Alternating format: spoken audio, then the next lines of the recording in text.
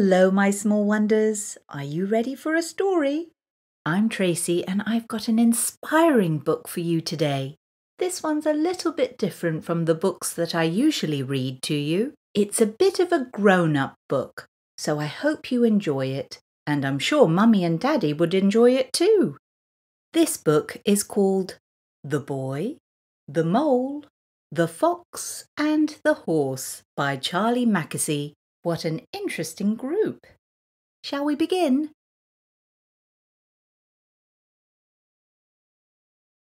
Well, there's the boy, and that must be the mole. Hello. I'm so small, said the mole.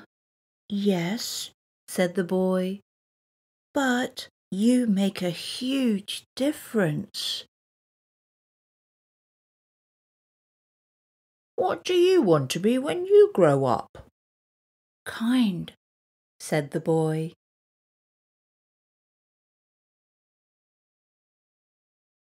What do you think success is? asked the boy.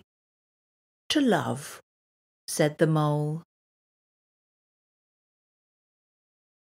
Well, hello. That's exactly what I say when I see a cake. Hmm, I think the mole and I would be very good friends. Do you have a favourite saying? asked the boy. Yes, said the mole. What is it? If at first you don't succeed, have some cake. I see. Does it work? Every time. Just a tiny taste. Well, it looks like the mole is stuffing his face with the whole cake. I got you a delicious cake, said the mole. Did you? Yes. Where is it? I ate it, said the mole. Oh. But I got you another. Did you? Where is that one? Oh, the same thing seems to have happened. the mole really does love cake, doesn't he? What do you think is the biggest waste of time? Comparing yourself to others, said the mole. Hmm, I wonder if there is a school of unlearning. Most of the old moles I know wish they had listened less to their fears and more to their dreams. What is that over there? It's the wild, said the mole. Don't fear it. Imagine how we would be if we were less afraid. Oh, look, that must be the fox. I'm not afraid, said the mole.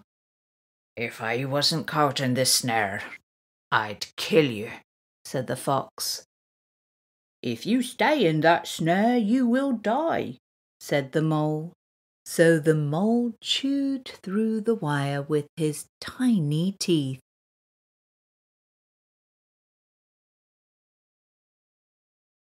One of our greatest freedoms is how we react to things. And look, do you see? His footprints made a heart shape in the snow.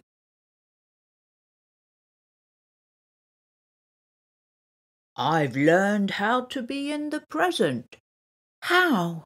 asked the boy. I find a quiet spot and shut my eyes and breathe. That's good. And then? Then I focus. What do you focus on? Cake, said the mole.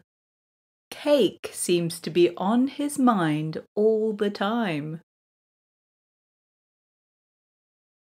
Isn't it odd? We can only see our outsides, but nearly everything happens on the inside. So there's the boy and the mole staring at their reflections in the water.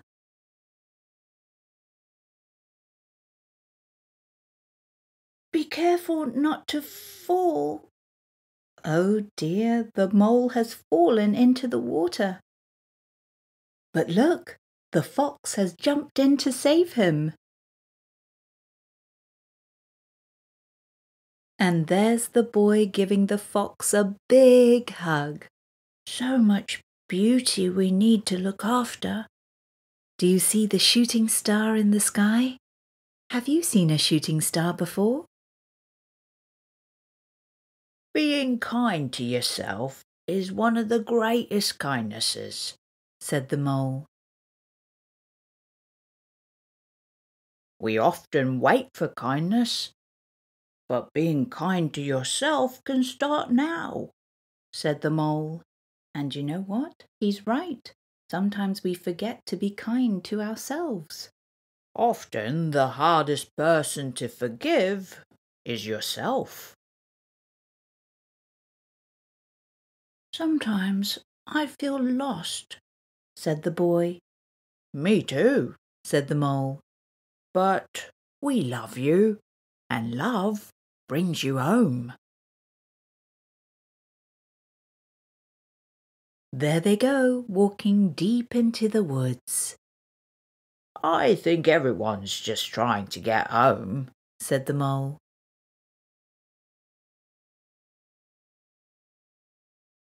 Well, it looks like they've met a horse. Hello. Hello. And it seems as if the four of them are getting along just fine. Doing nothing with friends is never doing nothing, is it?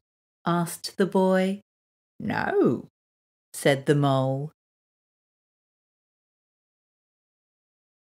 Wow, look at them having so much fun together. And that looks like a huge leap over the water. But uh oh, looks like the boy has fallen off the horse's back. You fell, but I've got you. Everyone is a bit scared, said the horse. But we are less scared together. Tears fall for a reason, and they are your strength, not weakness. What is the bravest thing you've ever said? asked the boy. Hmm, help, said the horse. When have you been at your strongest?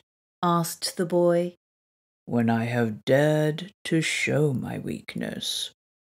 Asking for help isn't giving up, said the horse. It's refusing to give up.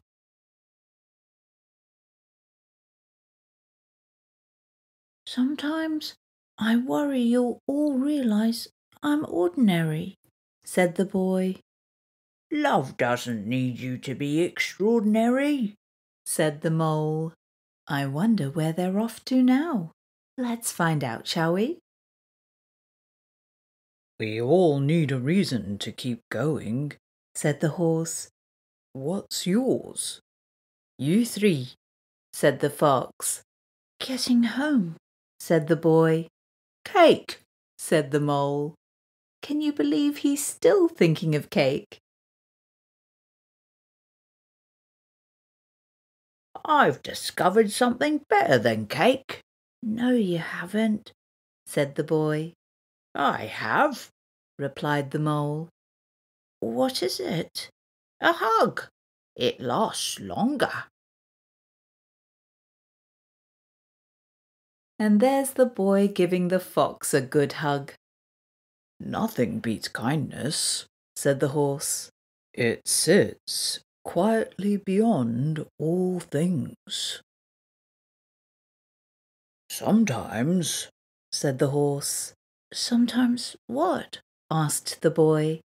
Sometimes just getting up and carrying on is brave and magnificent. And who do we have here? Two beautiful swans swimming on the lake. How do they look so together and perfect? asked the boy. There's a lot of frantic paddling going on beneath, said the horse. The greatest illusion, said the mole, is that life should be perfect. Is it the moon? asked the boy. It's a teacup stain, said the mole. And where there's tea, there's cake. Cake again. Be curious. Hmm, that looks like the moon, doesn't it? Life is difficult, but you are loved. So you know all about me? asked the boy. Yes, said the horse. And you still love me? We love you all the more. Sometimes I think you believe in me more than I do, said the boy. You'll catch up, said the horse. The fox never really speaks, whispered the boy.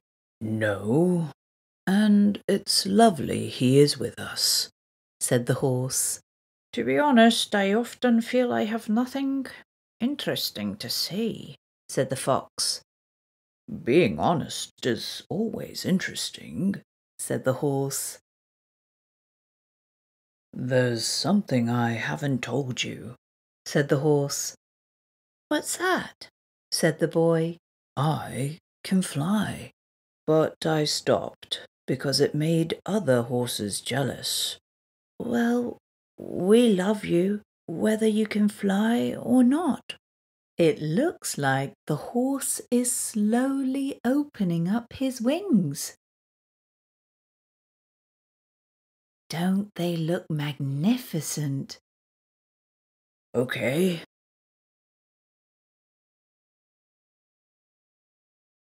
He looks a lot more confident now, doesn't he?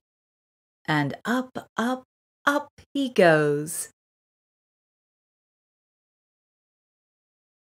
Is your glass half empty or half full? asked the mole. I think I'm grateful to have a glass, said the boy. We don't know about tomorrow, said the horse. All we need to know is that we love each other. When the dark clouds come, keep going. When the big things feel out of control, focus on what you love right under your nose.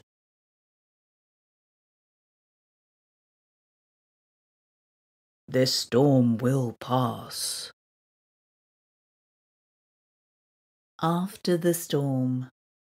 And where are they off to now, I wonder? We have such a long way to go, sighed the boy.